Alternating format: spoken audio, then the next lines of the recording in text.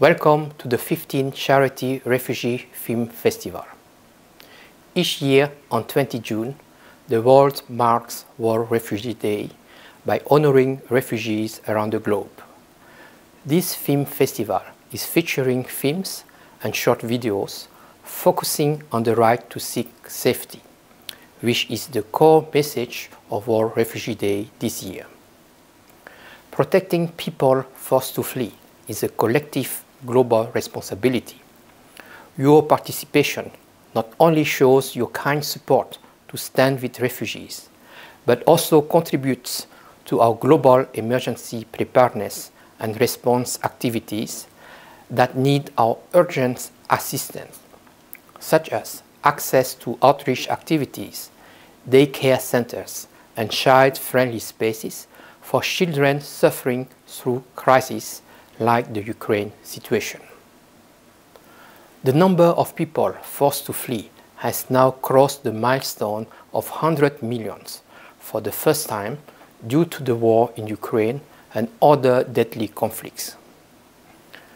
The global support to refugees from Ukraine has shown huge international solidarity and we need to extend this compassion to other refugee crises in the world because whoever, wherever, whenever, everyone has the right to seek safety.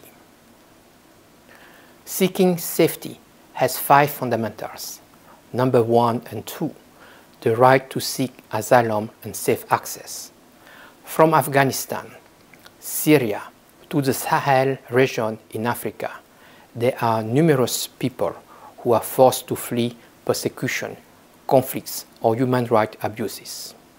An open border where they can cross safely are crucial as everyone has the right to seek protection in another country. Number three and four, no pushbacks and no discrimination. Many asylum seekers, refugees, and displaced people are already traumatized from their experiences back in their home countries or during the fleeing journey. Never should anyone be discriminated against at borders. We should also make sure that no one is pushed back to a country where their life or liberty would be threatened and that all application for refugee status must be given fair consideration.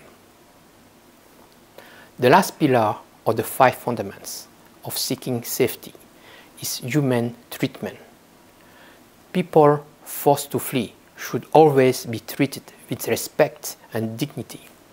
In emergencies like the one in Ukraine, besides distributing life-saving humanitarian items, UNHCR is also providing counseling, working to keep families together and keeping them safe from human traffickers as well as other potential harms. I would also like to give our special thanks to our donors for your continuous support for refugees even during these difficult times in the past few years, and the solidarity you have demonstrated to support the Ukraine situation. I wish all of you will enjoy our selected films and learn more about the life of forcibly displaced people from all parts of the world.